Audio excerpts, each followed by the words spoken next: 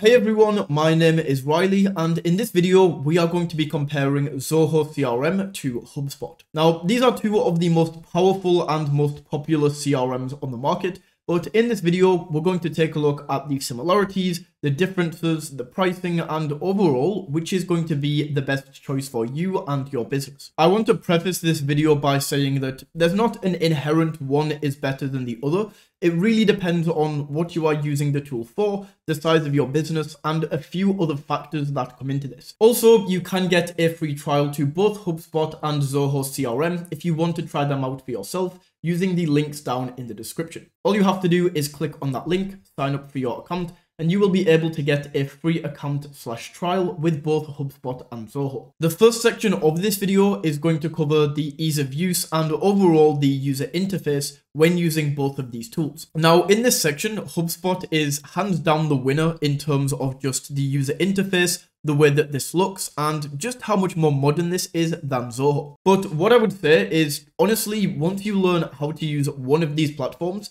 you could very easily switch to the other platforms and be able to navigate 90% of the other platform pretty much instantly. For example, to see all of your contacts, all you have to do is head over to the contact section on each of these platforms and all of the contacts that you have within the CRM are shown right here. You can click into each individual contact to see more information about the contact that you clicked HubSpot once again has a much cleaner layout for this, showing all of the basic contact information here on the left hand side. The middle is reserved for some of the more important main information that you would need to know, such as the companies they are connected to, any deals that are associated with this contact, any subscriptions that this contact has, along with some other data. We can also toggle over to this activity section, and this is going to show a chronological timeline of all of the contact that you have made with this specific lead. So whether you have sent an email, whether you have called the contact, made any notes, updated the lifecycle stage, all of that information is going to be shown in this middle section. And then on this right hand side, we have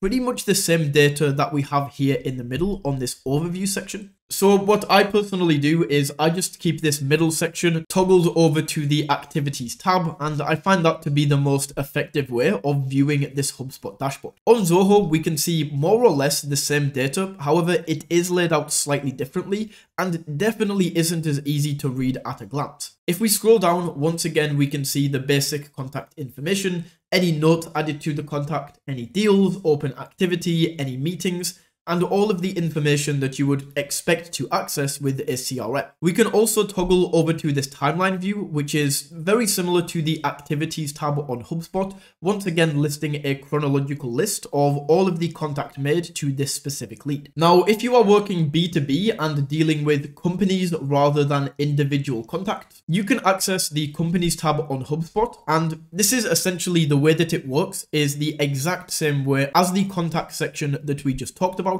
However, listed here are going to be companies rather than individual contacts. If we click into a specific company, we can see all of the information that we need to about this company, as well as all of the individual contacts that are linked to the company. Of course, all of these contacts that are related to this company, they are also going to be shown up in the contacts tab that we talked about earlier. With Zoho, we can do the exact same thing. However, instead of being called companies, this tab is called accounts.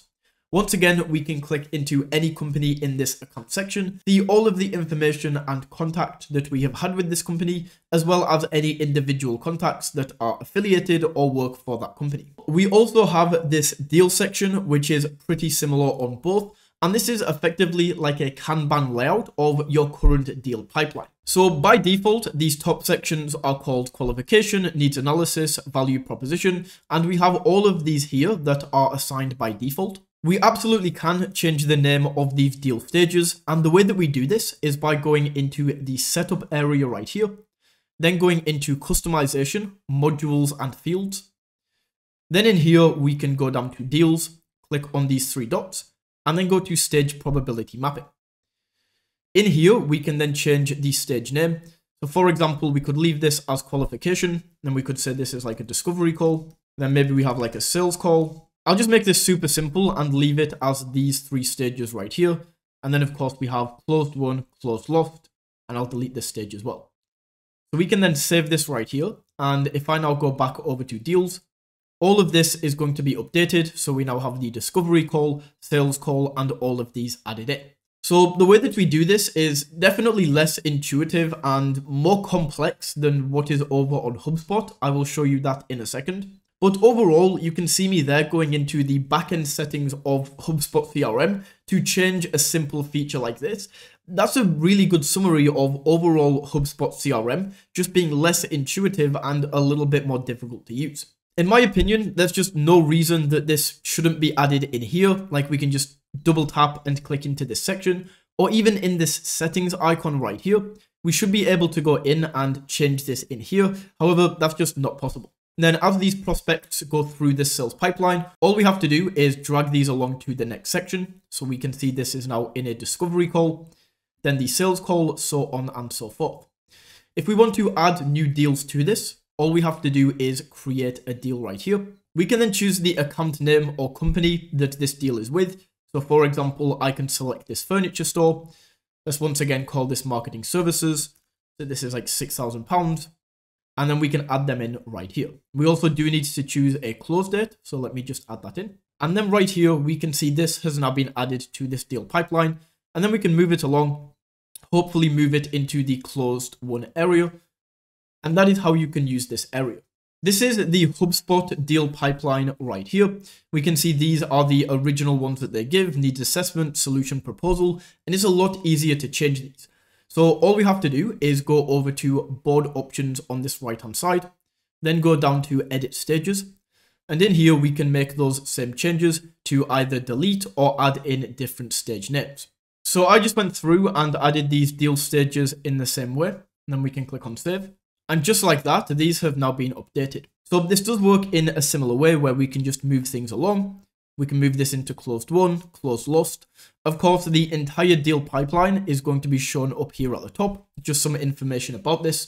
We can see the total deal amount in the current pipeline right now, the weighted deal amount, so how much each deal is worth, how many deals are currently open, how much we have closed. So if I move this into closed won, that's going to update right there. We have the new deal amount and the average deal age. I also want to show you this section and this is personally one of my favorite aspects of HubSpot that Zoho doesn't allow you to do.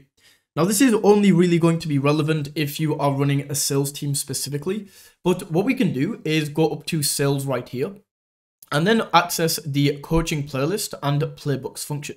So the coaching playlist is essentially going to allow you to view all of the different sales calls that you and your team have had on HubSpot and then put them into different playlists so that when you bring on board new hires, you can say, hey, go and listen to this specific playlist. And they can learn a lot from listening to successful sales calls.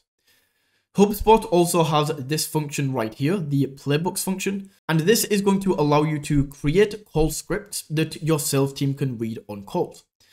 So this is a basic one right here. This is a discovery call script and it's here by default. So right here, we just have some information before the call, you should do all of this.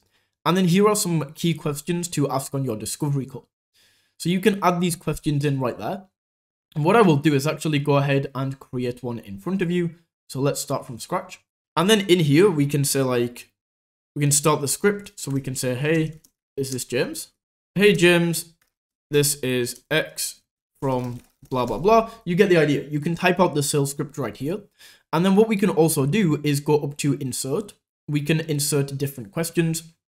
For example, we can say like, let's just use this one. What are your company's goals? And then we can choose if this is required or not. Then click on save. And just like that, this is now going to be added in. So that's a very cool feature that you can get on HubSpot as well. And then something else that we can do on HubSpot that we definitely cannot do on Zoho CRM is we can access this marketing suite. Now this is pretty expensive. I will get into all of the pricing later in the video. But this is essentially going to allow you to track all of your ads and essentially run your ads from inside of HubSpot. So if we go over to the demo area right here, I'll show you with this demo data we can essentially go through and start creating and monitoring our ads inside of HubSpot. Now, this is going to be especially effective if you are running these Facebook ad campaigns or whatever kind of ad campaigns you are running, and then funneling these leads into HubSpot where you are going to use the pipeline in here on those specific leads. So as I say, you can create all of your ads inside of here. We can then go publish. And then in here, we can turn the ads on and off. We can see the impressions, the clicks, the total contact. All of the information that we need is here inside of HubSpot. So if you are running ads and that's what you are going to be using HubSpot for, is using these ads to funnel them into this CRM, then this is a fantastic tool that you can use. As well as this, you can also create landing pages inside of HubSpot so that you can send them directly there, once again, potentially from these ads. However, let's now get into the pricing and I will show you just how expensive these features are on HubSpot. With Zoho, we have these different plans right here. We have the cheapest plan, the standard, starting off at £12 per month per user moving up to £18 per month per user, 35 and then 42. Once again, the plan that you go for is really going to depend on the size of your company and exactly what you are going to be using this for. So what I would recommend is checking out the sales pages on both of these so that you can go through and make sure that you are getting the specific functions and features that you need. And with HubSpot, we essentially have two ways of going about this. We have this section for individuals and small teams, we have the starter plan starting out at £14 per month per seat. However, what I will say is this is super basic.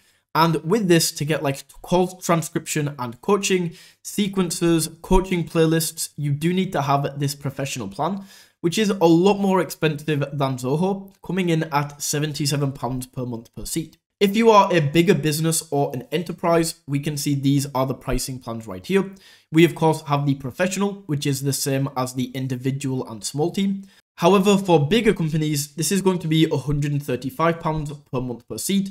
But once again, this isn't something you have to upgrade to unless you need these specific features. For the marketing hub, which I showed you earlier, this is very, very expensive, especially for the businesses and enterprise area. This starts out at £702 per month, so definitely not accessible for everybody. And then the enterprise is £3,000 per month. Moving over to the individual, this is a lot better in terms of pricing. Uh, so with this, you get your email marketing, you get your landing pages, and this is only £14 per month per seat. And then for your social media, your custom reporting, all of the social media and ad stuff that I showed you, this is once again £702 per month. So overall, I would personally say that HubSpot is objectively the better platform. However, it really does depend on what you are using this for and if that higher price is going to be worth it for you with HubSpot. Zoho does have 80% of the features that HubSpot do at a lower price. So for some people, Zoho is definitely going to be the better option, but for others, HubSpot is going to be the clear winner. So that is my comparison of HubSpot versus Zoho. Once again, if you want to claim a free trial to either of these software, you can do so using the link in the description. If you found this video valuable, don't forget to smash that like button and tap that subscribe button. And until next time, take it easy.